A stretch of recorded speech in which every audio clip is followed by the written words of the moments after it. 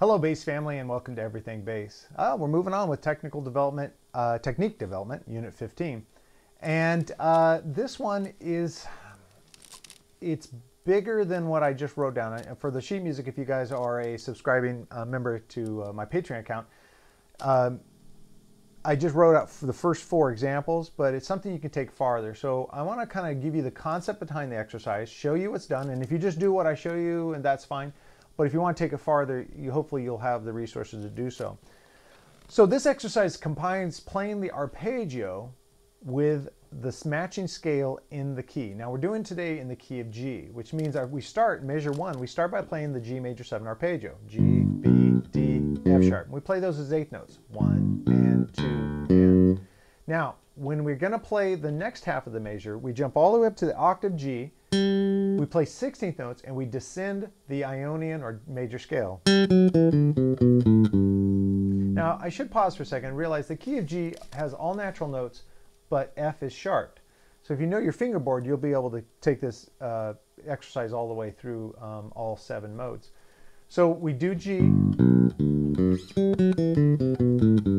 Now next measure, we start by playing the A minor 7 arpeggio because that's the second step in the key of G. Uh, and we play the A minor 7 arpeggio, eighth notes. We go up here on the uh, 14th fret, A, and we descend the Dorian mode. Like that. Now, if you're unfamiliar with Dorian, check out the video Modes 2, Dorian mode. It'll show you how to play it and how it's constructed and some different fingering ideas for it. But for now, you can just realize you're playing A, C, E. Go up to this A, play all natural notes until you get to the F, which is sharp. There's the F sharp. All right, next measure, we're doing B minor, because that's the third step in the key of G, B minor. And we're going to play B minor 7 arpeggio. Now we go up to the B, but now we're playing backwards, we're playing the B Phrygian mode. And then again, you can go and check that out on my channel to learn how to play it. But, but basically, you start on B, you go B, A, G, F sharp, E, D, C, B. So it sounds like this put together. Now lastly, we, we go to C, and we play the C major arpeggio, major 7 arpeggio. Jump all the way up here and play C Lydian. Now, if you're like, hey, whoa, slow down, cowboy, I don't know what C Lydian is. Well, you actually have all the parts to be able to just learn it for yourself. Go up to the C, descend, play all natural notes until you come to F and sharp it. C, B, A, G, F sharp, E, D, C.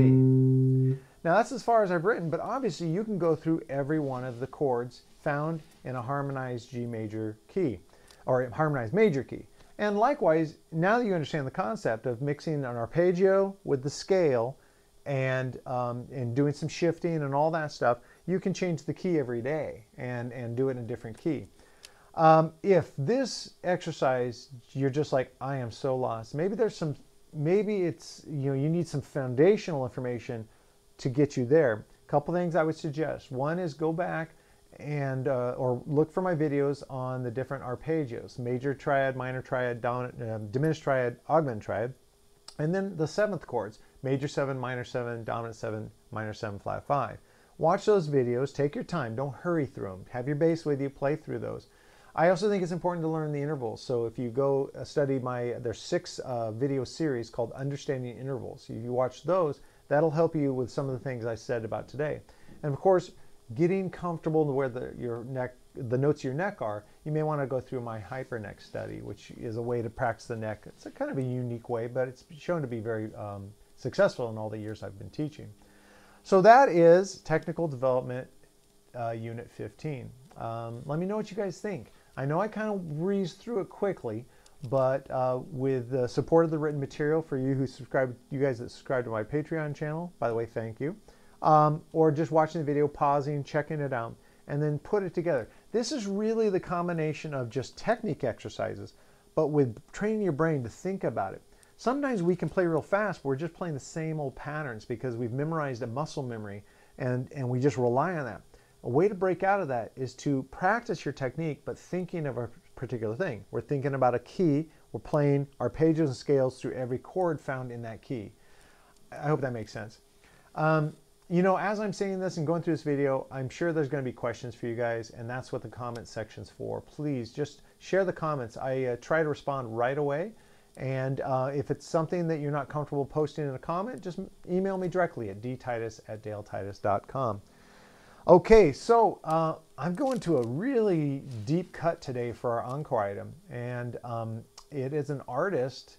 The, the story behind this is kind of funny because when I was teaching at Musicians Institute, um, sometimes we'd have guest guitarists planning to come by and um, they would ask me to uh, play you know if the guy needed a band to play along with they would ask me to play and that was really nice of them. I got to play with some amazing players.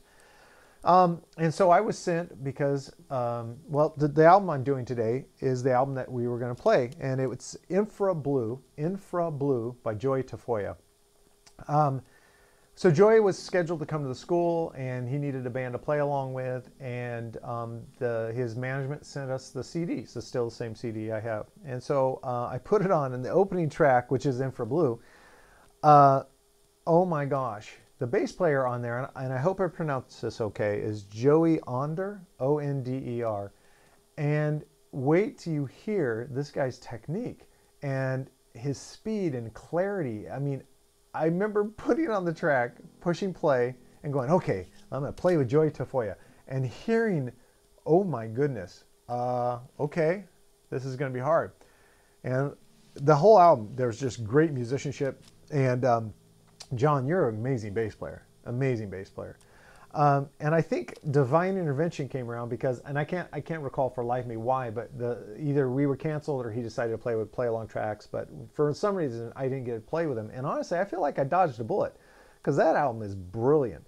Um, I did look around, and it is available for streaming. I believe you can still buy it, but I didn't see it on some of my um, things. So you may just be, this is one I usually encourage you guys to buy copies of the album to support the artist, but maybe the best thing you can do is just stream it. Um, so I found it on Spotify. I still have my CD.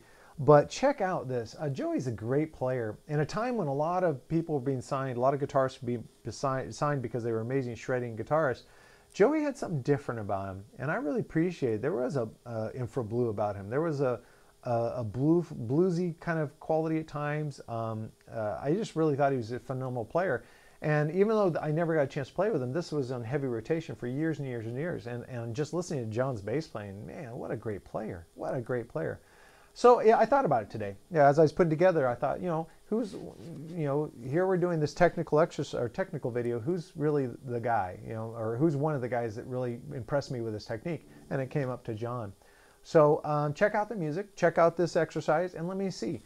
Let me know how it goes, man. I'd love to hear from you guys. I'd love to see. Uh, the progress you're making with your technique. Uh, as always, I really encourage you to join our Facebook group. Uh, it's been growing huge lately, which is great. And we're just all sharing ideas. Um, I, will post stuff daily there. Um, sometimes I, I share a video that I want to highlight and point out. Um, I have a thing called um, Slapper Day, which is every Saturday I post a slap video. Um, so anyway, it's just a lot of fun. And you can find that by going to Facebook and searching Everything Bass with Dale Titus. You have to include the with Dale Titus because there's an Everything Bass Facebook page, but you want, well, you might want, you try both. Um, all right, guys, it's been so much fun hanging with you today, and I look forward to next time we can uh, uh, share some ideas. All right, take care and be well.